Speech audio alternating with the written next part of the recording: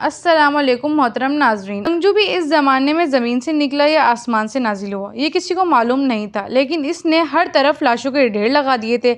जंजू को अवाम पसंद करने लगी थी, वो हर दिल अज़ीज़ बन चुका था, क्योंकि उसमें बहुत सी खूबियाँ भी थी। एक तो वो अंग्रेज़ों को पहले कत्ल करता था, जिन्होंने ज्यादती में हद से ज़्यादा तजावज़ किया होता था। वो हिंदुस्तान की रया को अपना गुलाम समझते थे बीस बीस घंटे की मुशक्क़त का काम लेते थे।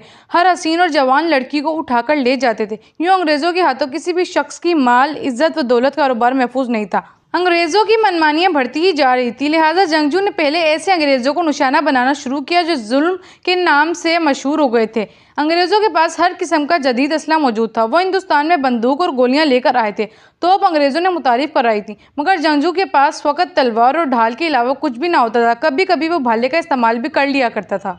हफ़्ते का दिन था। एक वायस रॉय अपनी फौज के साथ कहीं जा रहा था। वायस रॉय बग्गी में सवार था और उसके इर्द गिर्द घोड़ों पर मुआफिज सवार चल रहे थे। हिंदुस्तान में अंग्रेज़ों को गोरा कहा जाता था। घोड़े आ रहे हैं।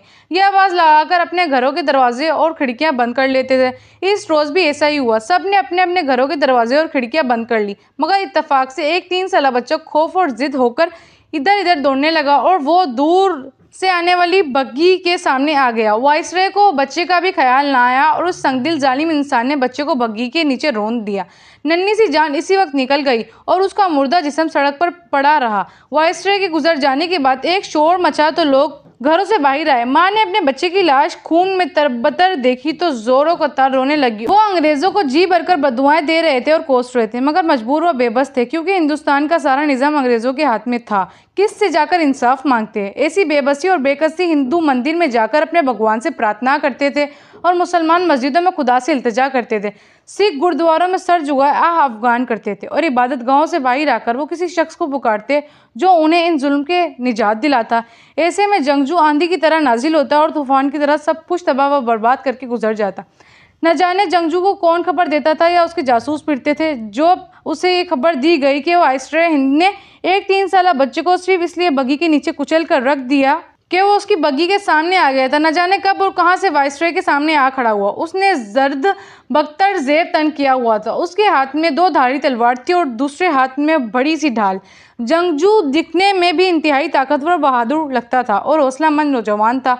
उसकी तलवार में गजब की काट थी। वो बेक वक्त तलवार भी चलाता और ढाल भी संभालता और घोड़े को अपनी मर्ज़ी से पैंतरों के मुताबिक बदलता रहता। ये कमालत किसी आम आदमी में नहीं होते थे। जंगजू को देखते ही एक शोर उठा और हर तरफ़ जंगजू जंगजू के नारे बुलंद होते गए। जंगजू का चेहरा हमेशा छुपा हुआ होता था। उसका चेहरा आज तक किसी ने नहीं देखा था। इस वक्त भी उसके चेहरे पर लोहे का खोल चढ़ा हुआ था। अगर खोल ना होता तो यकीनन वाइसराय हिंद के चेहरे पर गेज व गजब और नफरत के गुस्से के आसार ज़रूर देख लेता। वायसराय ने जैसे ही जंगजू के नारों की आवाज़ सुनी तो उसके चेहरे का रंग बदल गया। क्योंकि वायसराय हिंद ने आज से पहले भी जंगजू का नाम सुन रखा था। उसके कारनामों की तफसीलात पढ़ी थी, जो उसके आमद पर हिंदुस्तान में मुकीम गवर्नरों ने बनाकर दी थी। वो ये भी जानता था कि जंगजू मजलूम इंसानों का साथी है, गरीबों का सहारा है। वाइसराय ने करीब घोड़े पर सवार मुआफिस से कहा, मौका अच्छा है, आज जंगजू को ज़िंदा वापस जाने नहीं देंगे। लिहाजा हुक्म पाते ही मुआफिजों ने हुक्म जद होते हुए भी जंगजू पर हमला कर दिया। एनी शाहिदीन ने देखा कि जंगजू ने एड़ लगाकर घोड़े को होशियार किया और बर्फ़ रफ्तारी से चला और चश्म जदन में छह घोड़े सवारों को मोती घाट उतार दिया। इसकी तलवार लहराई और दुश्मनों के मुतकबिर सरों को ज़मीन बोस कर दिया।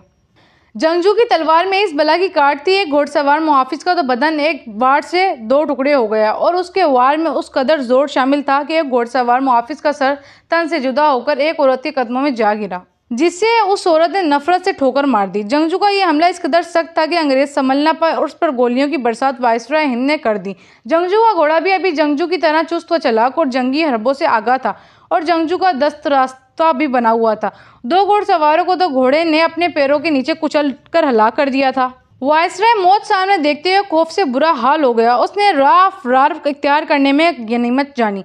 लिहाजा वो कोचवान को हुक्म देने लगा बग्गी चलाओ बग्गी चलाओ। कोचवान ने बग्गी को सर पर दौड़ाया और दूर निकल गया। वायसराय को भागता देखकर मुआफिज भी भाग खड़े हुए। जंगजू ने उनका पीछा किया और दो मुआफिजों को जान लिया। आना फाना, उनका सर भी कलम कर दिया। वायसराय की किस्मत अच्छी थी कि वो जान बचाकर बाहर निकला, मगर जंगजू को उसकी तलाश थी। ये लोगों ने अक्सर देखा था कि जंगजू वारदात के बाद फ़ौरन कहीं दूर गायब हो जाता था। लोगों का दिल चाहता कि वो अपने निजात दिन से मिले। उसकी शक्ल देखे उससे बातें करें, उसका शुक्रिया अदा करके उसको दुआएँ दें। वायसरा हिंद जैसे तैसे मेल में पहुँचा और सांस दुरुस्त करने के बाद उसने तमाम गवर्नरों की मीटिंग तलब की। दूसरे दिन तमाम गवर्नर जमा हो गए तो उसने जंगजू का मसला रख दिया।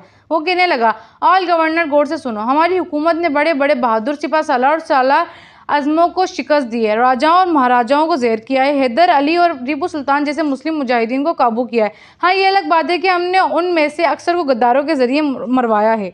मगर ये जंगजू किसका बच्चा है, जिसे अब तक तुमने जेर कर सके हो ना मरवा सके हो ना खुद हला कर सके हो? क्या हमारे पास दौलत ख़त्म हो गई है? मुझे एक हफ़्ते के अंदर अंदर जगजू चाहिए। ज़िंदा या मुर्दा वायसराय नामुमकिन को बात को मुमकिन बनाने का हुक्म देकर खामोश हो गया।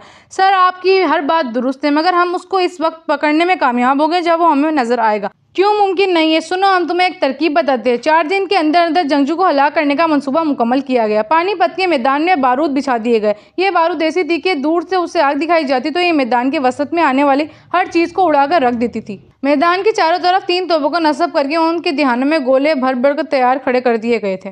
प्लान के मुताबिक 10 हिंदू कैदियों को मैदान में लाया गया और 10 बगावत करने वाले मुसलमान मजलूमों को मैदान के मरकज़ में लाया गया और ऐलान कर दिया गया।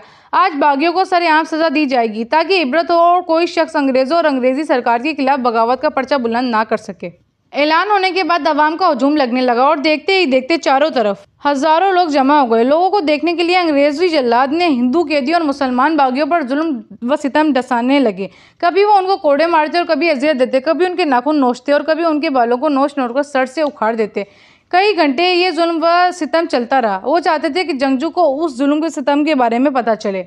अभी अंग्रेज़ों का जुल्म जारी ही था कि एक शोर मचा। जंगजू जंगजू जंगजू। अवाम ने पलट कर देखा तो दूर से जंगजू घोड़े पर सवार। आन वाहिद में जंगजू इंसानों का हजूम चीरता और मैदान के अंदर मौजूद था। उसने कैदियों के पास पहुंचकर जालिमों को तलवार की जिद पर रखा और देखते ही देखते पाँच जलादों को मौत के घाट उतार कर कैदियों की रस्सियाँ तलवार से गाड़ डाली और उन्हें फरार होने का मौका ना दिया। कैदी फरार होकर आवाम में मिल गए थे। अंग्रेज़ों के ख्याल के मुताबिक जंगजू उनकी जाल में फंस चुका था।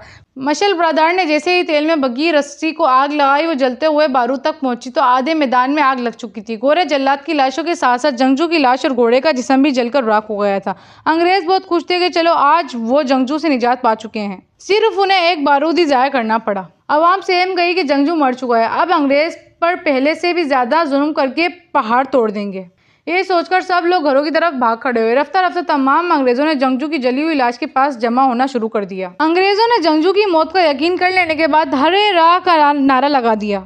अभी वो पलटे भी ना थे कि एक तोप से गोला निकला और मैदान में जमा होने वाले फौजियों पर आ गिरा। लाशों के ढेर लग गए। उन्हें समझ नहीं आ रहा था कि तोप से गोला किसने चलाया। अंग्रेज़ों ने घबरा कर देखा तो जंगजू खड़ा था। जो अब दूसरी तोप से गोला फेंक रहा था। फिर तीसरी तोप से गोला निकला और फिर चौथी तोप से गोला निकला। देखते ही देखते लोग गोलों की बरसात हो गई। मरने से पहले अंग्रेज़ों को यह यकीन हो गया था कि उन्होंने बारूद से जलाकर जिस शख्स को मारा था, वो असल जंगजू नहीं था, बल्कि असल जंगजू तो वो था जिसने उन्हें उन्हीं की तरह धोखा देकर तोप से गोले चलाकर मौत की घाट उतार दिया था।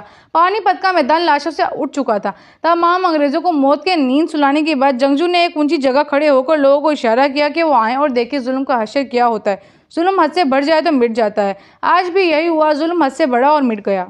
जी तो मोहतरम नाजरीन, ये थी हमारी आज की कहानी। अगर आप लोगों को कहानी अच्छी लगी और आप लोग चाहते हैं कि इसी तरह की कहानियाँ आती रहें तो आप लोग मेरे चैनल को सब्सक्राइब कर दें। वीडियो अच्छी लगी हो तो लाइक, शेयर एंड कमेंट ज़रूर कीजिएगा। आज के लिए इतना ही।